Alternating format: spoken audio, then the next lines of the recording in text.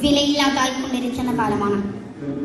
സ്വന്തം ജീവിത വ്യവഹാരങ്ങളുടെ തിരക്കുകളിൽ മറ്റുള്ളവരെ കാണാനും അവരെ ചേർത്ത് പിടിക്കാനും കഴിയാതെ മനുഷ്യർ സ്വയം ചെറുതായിക്കൊണ്ടിരിക്കുകയാണ് വീടും കുടുംബവും കൂട്ടുകാരും തൊഴിലിടങ്ങളും മാത്രമായി പരിമിതപ്പെട്ടു പോകുന്ന മനുഷ്യർക്ക് ബന്ധങ്ങളുടെയും സ്നേഹങ്ങളുടെയും ഊഷ്മളത അനുഭവിക്കാൻ കഴിയാതെ പോകും. സ്നേഹം കൂടുകൂട്ടുന്നത് ഹൃദയത്തിലാണ്. സ്നേഹത്തിന്റെ ഭാഷ അത് ഹൃദയത്തിന്റെ ഭാഷയുമാണ് കമ്പോളവൽകൃത കാലത്ത് എല്ലാം നമ്മുടെ കൈവെള്ളയിൽ ഒതുങ്ങുകയും എന്റെ ജീവിത സൗകര്യങ്ങളിൽ മാത്രം ഞാൻ അഭിരമിക്കുകയും ചെയ്യുമ്പോൾ എനിക്കെന്തിനാണ് അന്യരെ കാണുകയും അവനെ അനുഭവിക്കുകയും ചെയ്യേണ്ടി വരുന്നത് എന്ന പരിമിതമായ ചിന്തയിലേക്ക് നമ്മൾ ഓരോരുത്തരും ചുരുങ്ങിക്കൊണ്ടിരിക്കുകയാണ്. വീട് വരും മുമ്പേ മതിലിയേറ്റണം വീട്ടുകാരനെ കാണും മുമ്പേ കാവൽ പറ്റി കുരച്ച് ചാടണം ജോലി തേടും മുമ്പ് ശമ്പളത്തിന്റെ അക്കങ്ങൾ എണ്ണണം. മനോഹരമായ വരികളാണ് കവി കവിതയിലൂടെ വരച്ചു കാണിച്ചത്.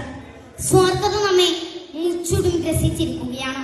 നമ്മുടെ ചുറ്റിലുമുയരുന്ന മനുഷ്യരുടെ നിലവിളി നമുക്ക് കേൾക്കാൻ കഴിയുന്നുണ്ടോ? നമ്മുടെ പ്രകൃതിയുടെ സങ്കടങ്ങൾ നമുക്ക് ഉൾക്കൊള്ളുവാൻ ശേഷിയുണ്ടോ?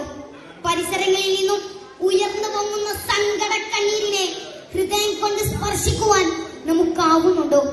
രോഗികളും ദുർബലരും പാവങ്ങളുമായ പരശ്വത മനുഷ്യരെ കാണാതിരിക്കുന്നവരെ ഏത് സ്നേഹത്തിന്റെ അളവുകോൽ വെച്ചാണ് നമ്മൾ അളന്ന് തിട്ടപ്പെടുത്തുക കവി പറയുന്നുണ്ട് നിന്നെ ചതിച്ചത് ഞാനല്ല നിന്റെ കണ്ണാണ്.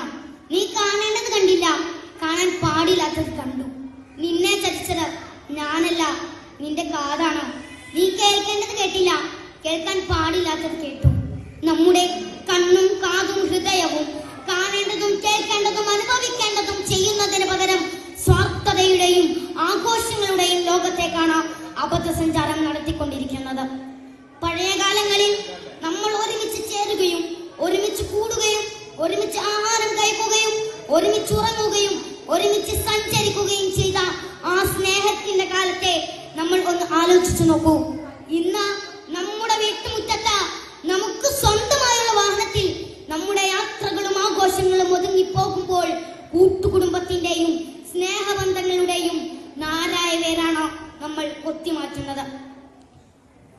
പരസ്പരം ചിരിക്കാനും കൈകൾ കോർത്ത് ആശീർവദിക്കാനും സന്തോഷങ്ങളിൽ പങ്കുചേരാനും സങ്കടങ്ങളിൽ കണ്ണുചേരാനും ആവുന്നതിനേക്കാൾ മനോഹരമായ ഒരു പ്രപഞ്ചം വേറെയുണ്ടോ?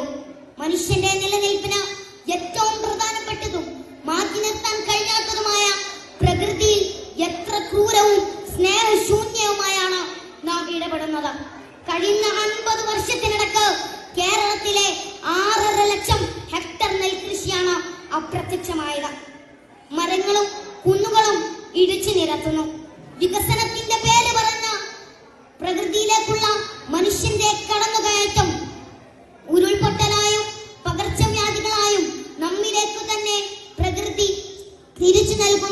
എന്ന യാഥാർത്ഥ്യം വിസ്മരിച്ചുകൂടാ പരിസര ശുചിത്വവും പ്രകൃതിയിലെ ഇടപെടലിന്റെ കരുതലും ഒരു സംസ്കാരമായി മാറ്റിയെടുക്കുന്നതിൽ നമുക്കിപ്പോഴും പൂർണമായി വിജയിക്കാൻ സാധിച്ചിട്ടില്ല.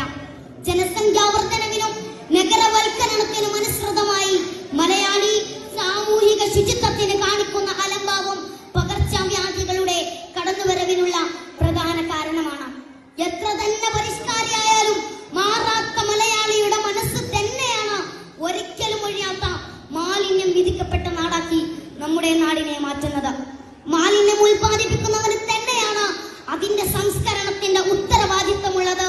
എന്ന ബോധ്യത്തിലേക്ക് നാം എത്തേണ്ടതുണ്ട്.